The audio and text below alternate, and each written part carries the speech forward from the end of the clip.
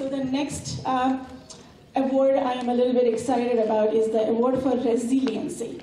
Um, I have read somewhere that without resiliency, we can't get anywhere in life. Uh, well, last year uh, I got to witness life of these two girls who had come from India to join uh, CSU for her for their studies, and they were here only for a month, and they got into an accident, a very bad accident, where one of them broke her tibia and her, had her kidney lacerated, whereas the other one had a very bad concussion and was going in and out of memory.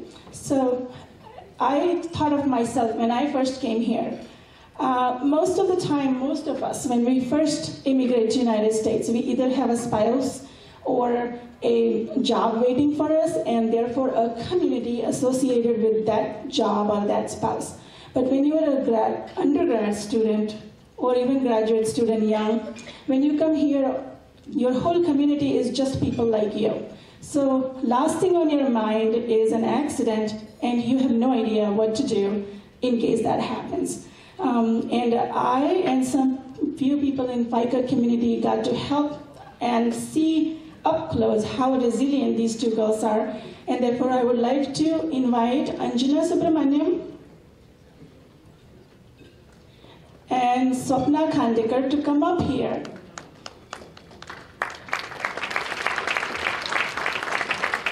For the resiliency that they have shown, going through such difficult time, rising above it, and continuing their education without losing a beat.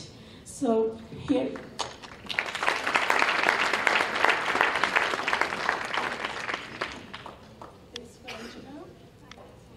A little butterfly, the flying butterfly on that black.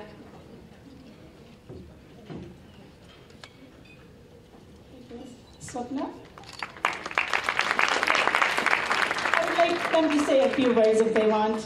Would you like? Okay. Hi, good evening everyone. I would like to thank each and everyone sitting over here for helping me out in such a difficult situation. I think without your support, I wouldn't have been able to do anything because I was bedridden for three months at a stretch. Even the doctors at the hospital had no hope. So because of this organization, I was provided everything from the walkers to the crutches to the bedding. Everything was provided by this organization. So I'm really grateful to all of you for helping me out. Thank you. Good evening, everyone. Thank you for inviting us here and honoring us with this award.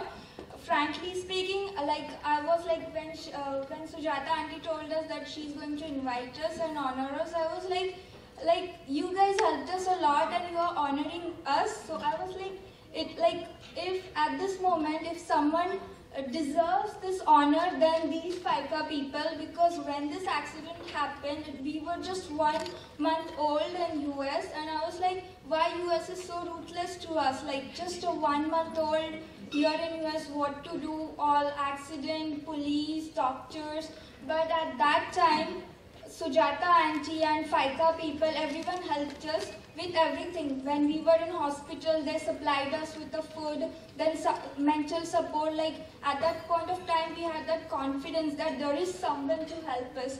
So I really like I want to take this moment and thank everyone from the FICA. Many of uh, like many of the people who helped us, I didn't even know them by name, but still they helped us. So thank you so much.